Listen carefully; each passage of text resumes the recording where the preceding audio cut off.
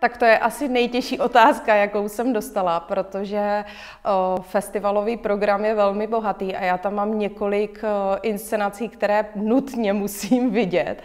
Tak kromě Střípků ženy Varšavského divadla rozmanitostí, to je běloruský Vojcek, Zároveň se velice těším na tři sestry ze slováckého divadla a píchu a předsudek z městského divadla Zlín.